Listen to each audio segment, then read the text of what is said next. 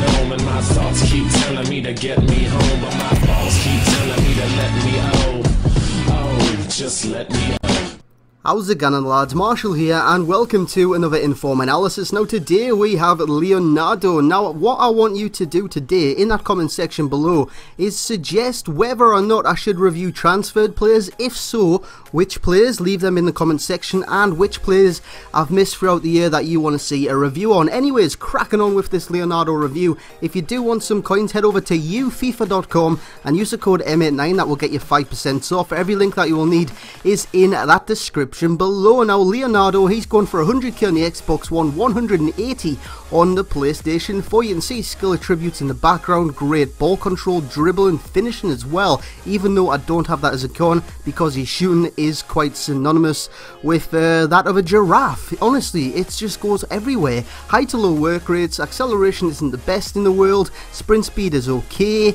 Yes, it's just a normal standard Brazilian card, but it's on the left wing. On this game, They don't have the best skillers at left wing, and I think Leonardo, he brings something to the game. I played this in a false nine formation, and on that left hand side, he was immense. Honestly, every time he got the ball, he could uh, dribble past players, he could take players on. He's got this kind of gangly run, which I've used with uh, Samaras. Just look how far he kicks a ball in front of him here. Just watch this.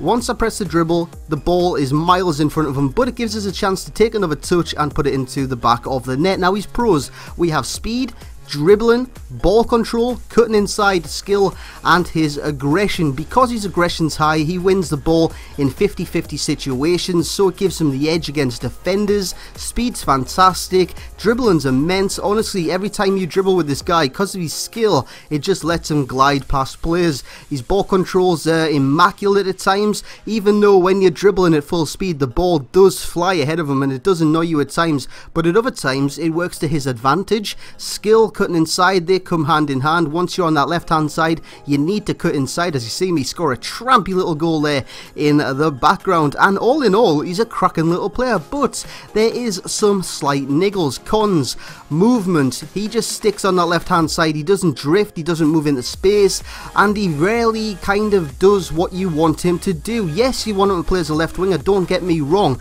but you want him to move into space, to glide into space. You've got to find him, you've got to give him the ball, You've got to take players on. He doesn't do intelligent runs. His shooting can be a bit hit and miss. You've seen him score some goals, and I've seen in the past you put it in the comment section below that I say shooting's bad, yet I'm scoring some cracking goals. That is about 10% of the games that you're seeing here. The other 10%, or the 90% I should say, of shots just fly wide. But anyways, this card, he's getting an 8 out of 10. It's a cracking card. Honestly, for a Brazil Silver Skill Squad, he has to be included because he is so damn good. Lads, that will be it. Remember the questions I said at the start. Smash the hell out the thumbs up button, and I will catch you all next time.